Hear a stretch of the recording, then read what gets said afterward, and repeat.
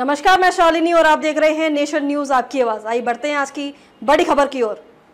Pune test से पहले New Zealand हुआ कमज़ोर, दिग्गज बल्लेबाज बाहर। भारत का काम होगा आसान। न्यूजीलैंड ने सभी को हैरान करते हुए बेंगलुरु में खेले गए पहले टेस्ट मैच में भारत को हरा दिया था। ये न्यूजीलैंड की भारत में 36 साल बाद पहली टेस्ट जीत थी। इस जीत से न्यूजीलैंड की टीम बेहद खुश थी और दूसरे टेस्ट मैच को लेकर आत्मविश्वास से भरी, लेकिन अचानक से उसको झटका लग गया। टीम का स्टार बल्लेबाज पुणे में 24 अक्टूबर से शुरू हो रहे दूसरे टेस्ट मैच में नहीं खेल पाएगा ये बल्लेबाज है कैन विलियमसन। अगर न्यूजीलैंड की टीम दूसरा मैच जीत लेती है तो फिर ये सीरीज़ भी उसके नाम हो जाएगी। इससे अच्छा मौका न्यूजीलैंड के पास नहीं होगा। ये टीम पूरी तरह से दूसरे टेस्ट मैच को जीतने के लिए जान लगा देगी। हालाँकि स्टार बल्लेबाज का न होने से न्यूजीलैंड की टीम थोड़ी कमज़ोर ज़रूर हो गई है, लेकिन विलियमसन यू तो पहले टेस्ट मैच में भी नहीं खेले थे। उन्हें ग्रोइंग में समस्या है और ये अभी तक पूरी तरह से ठीक नहीं हुई है।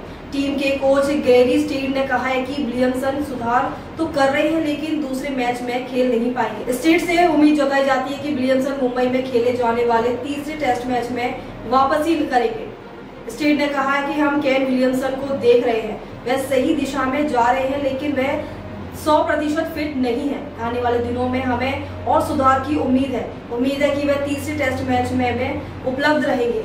हम उन्हें उतना समय देना चाहते हैं जिन्हें उन्हें ठीक होने के लिए चाहिए। विलियमसन की गैर मौजूदगी न्यूजीलैंड के लिए बहुत बड़ा झटका है। पहले मैच में जीतने के बाद की भी टीम के पास सीरीज़ नाम पहले मैच को जीतने के बाद कीवी टीम के पास सीरीज़ अपने नाम करने का अच्छा मौका है और इसके लिए ज़रूरी है कि विलियमसन जैसा दिग्गज बल्लेबाज खेले।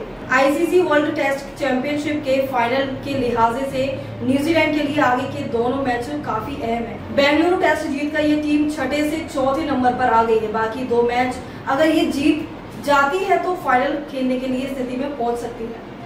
अब तक के लिए बस इतना ही। फिर होगी आपसे मुलाकात ऐसी ही खबरों के साथ। तब तक लिए नमस्कार और देखते रहिए नेशन न्यूज़ आपकी आवाज़। ऐसे ही लेटेस्ट अपडेट पाने के लिए हमारे चैनल को सब्सक्राइब करें और तुरंत नोटिफिकेशन पाने के लिए बेल आइकन प्रेस करना ना भूलें। यदि आप हमें फेसबुक या इंस्टाग्राम के माध्यम से देख रहे हैं तो पेज को फॉलो ज़रूर करें। धन्यवाद।